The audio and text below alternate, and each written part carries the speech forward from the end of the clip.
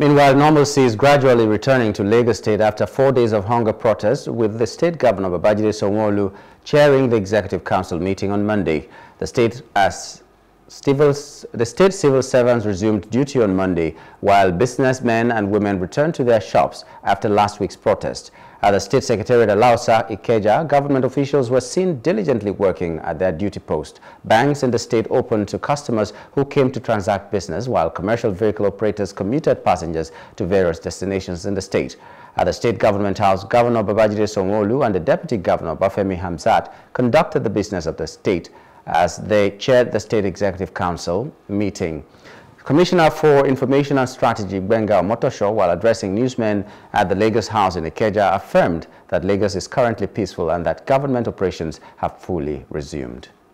Lagos is peaceful, it will continue to be peaceful because that is what Lagosians want and that is what Lagosians are getting.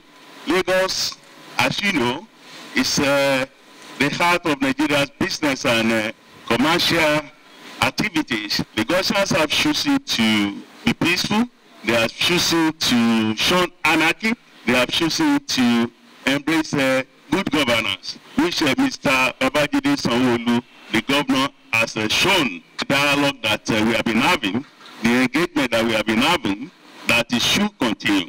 So those three lines that were set up last night, uh, I would like to announce to you that now we have received thousands of calls for people who are talking. And that means that Lagosians want to talk, they want to show understanding. They want to elect dialogue as against anarchy.